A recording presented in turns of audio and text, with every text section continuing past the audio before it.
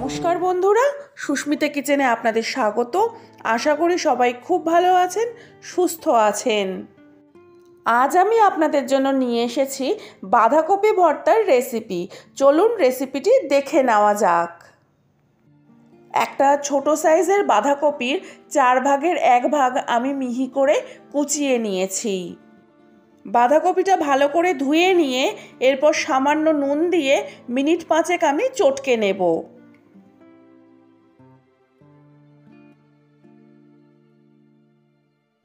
ছোট বাটিটা করে এরপর সামান্য একটু জল দিয়ে আমি গ্যাসে বসিয়ে দিলাম। এই জলেতেই বাঁধাকপি সেদ্ধ করে একদম শুকনো করে নেব।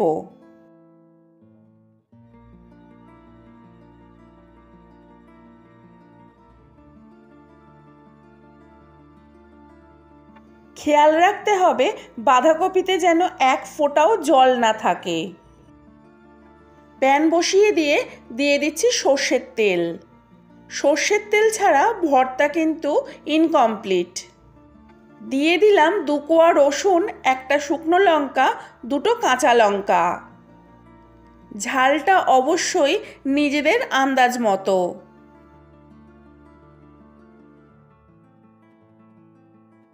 শুকনো লঙ্কা, কাঁচা লঙ্কা, রসুন আমার ভাজা হয়ে গেছে, আমি তুলে নিচ্ছি।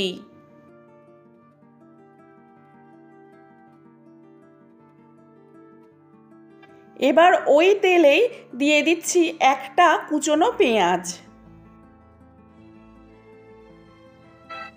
পেঁয়াজটা ভালো মতো আগে ভেজে নেব।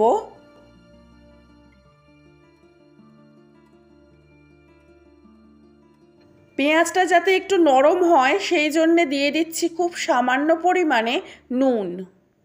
তবে নুনটা বুঝে দিতে হবে, কারণ বাঁধাকপি সেদ্ধর সময় আমি নুন দিয়েছিলাম।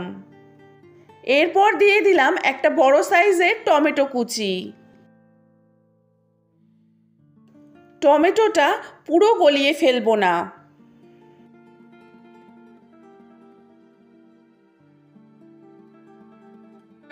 একটু গোটা গোটা থাকলে সেটা দেখতেও ভালো লাগবে। এই সময় আমি দিয়ে দিলাম কিছুটা পেঁয়াজ পাতা বা পেঁয়াজ শাক।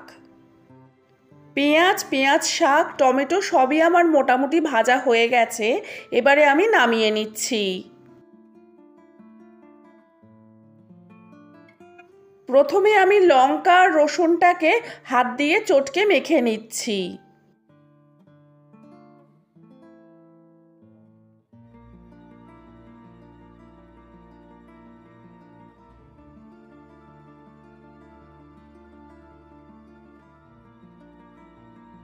এরপর দিয়ে দিচ্ছি ভেজে রাখা মশলা।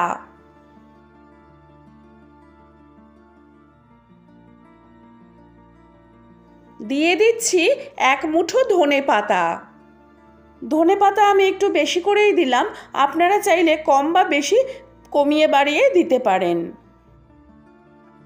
এবার ভর্তা যেমন করে হাত দিয়ে চটকে চটকে মাখে, আমি সেভাবেই সমস্ত উপকরণগুলো একসাথে মেখে নিচ্ছি।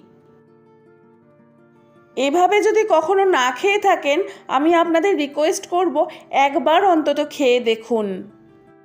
একবার খেলে আপনি বারবার খেতে চাইবেন এই বাঁধাকপির ভর্তা। জ্বর সর্দি কাশি হলে আমাদের মুখে অরুচি থাকে, তখন কিছুই খেতে ভালো লাগে না। কিন্তু আমি গ্যারেন্টি দিচ্ছি। এই রেসিপি একবার ওই সময় ট্রাই করে দেখুন, আপনার মুখের স্বাদ একেবারেই বদলে যাবে। তৈরি হয়ে গেল বাঁধাকপি ভর্তা। তাহলে বন্ধুরা, আজকের রেসিপি আপনাদের কেমন লাগল তা আমাকে জানান কমেন্ট বক্সে ভালো লাগলে একটা লাইক করে বন্ধুদের সাথে শেয়ার করে দেবেন। সাবস্ক্রাইব করে পাশে থাকা বেল বাটনটি অল করে দেবেন। আজকের ভিডিও এই পর্যন্ত। ভালো থাকুন, সুস্থ থাকুন। দেখা হবে পরবর্তী ভিডিওয়। ততক্ষণের জন্য টাটা।